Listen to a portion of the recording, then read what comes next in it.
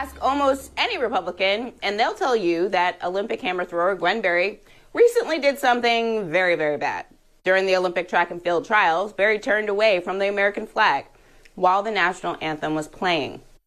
She also put a black t shirt over her head, her head that read, Activist Athlete. It wasn't a knee, but the response was the same. We don't need any more activist athletes. I, I, you know, she should be removed from the team. The entire point of the Olympic team is to represent the United States of America. Berry says she has no issues representing America, obviously, because she spent years working and practicing so she could compete representing America at the Olympic Games. She says her issue is with a song like that, uh, the national anthem in this case, is so like so many things in this country, it has racist roots. If you know your history, you know the full song of the national anthem. The third paragraph speaks to slaves in America, our blood being slain and, and pilchered all over the floor. Mm-hmm. It's disrespectful. Berry is referring to this stanza that I bet you never heard before. It reads in part No refuge could save the hireling and slave from the terror of flight or the gloom of the grave. The interpretation of that stanza is up for debate, but I can see why most of us only learn the first verse in elementary school. They really don't make us sing that part of the national anthem, I guess, for good reason. And joining me now is sports journalist Cari Champion. She's the co-host of Cari and Jemele Won't Stick to Sports on Vice TV, which I love. And she's also the host of the podcast Naked. Cari, Gwen Berry has been here before. Back in 2019, the Olympic Committee, they fined her and put her on probation for a year for raising her fist at the podium at the Pan American Games. And and this time it just feels like such a coordinated attack on her from the right. How did, what's your reaction to how this is all unfolding since, you know, this weird moment where they play the anthem, you know, coincidentally when she happens to be on the podium, she makes the decision to turn her back. Yeah. Well, first off, thanks for having me. And uh, I would like to say that I love that you're doing this story and stories like this because here is the reality if they think that Gwen is the only athlete who will raise her fist, who will turn their back uh, when the national anthem is played, the Star Spangled Banner is played, they're they're wrong. Um, this is not a new thing. I liken it to Colin Kaepernick, but this time she won't lose her job. She won't lose the ability to compete. She might lose some fans, she might lose some favor, but this is her choice.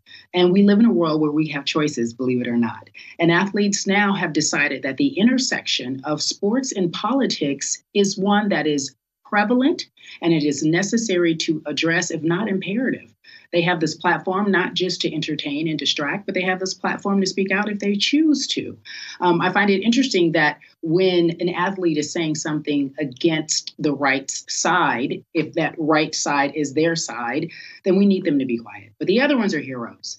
The other athletes who speak to what need to be spoken to correctly in someone else's opinion, they are amplified and considered a real American hero. And I applaud her I applaud her bravery. She says she thought this was a setup. She said she was told that that would not that song would not be played.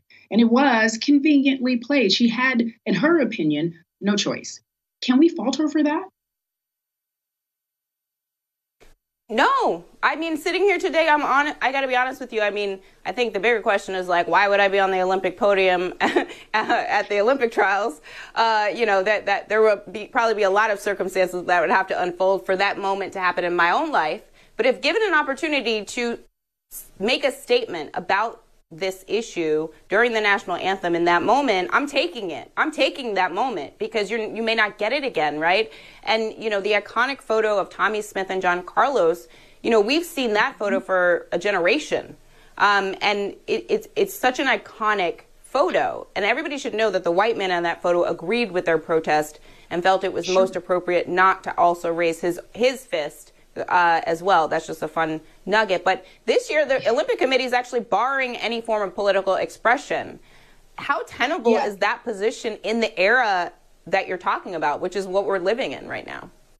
It's not feasible. I, I, like the idea of them saying that there is no political expression, but sometimes it's personal. Political becomes personal. Mm. Uh, she was very clear. Gwen said, I am doing this for my people. I am doing this for those who have been disproportionately murdered in America. I didn't say I don't love my country, but this is what I stand for. This is what I believe in.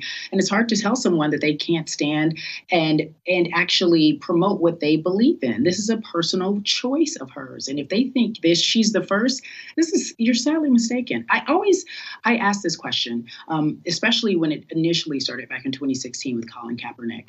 I said, if he was kneeling for breast cancer, would we really stop down and say oh my goodness this is this is ridiculous. You can't you cannot have a job in the NFL if he was kneeling for something that was deemed appropriate and then therefore not black lives matter not that you're killing black men at disproportionate rates if he was doing something that was accepted by all then there wouldn't be a problem. And that in itself is a problem if she decided to gwen being she decided to put on a, a pink say if it was pink t-shirt that said breast cancer matters we would love her. And by we i mean everyone would be singing her praises. There would not be as much backlash. You would not have to delete her twitter account. That's unfortunate Hi, I'm Zerlina Maxwell. Thanks for checking out our channel on YouTube.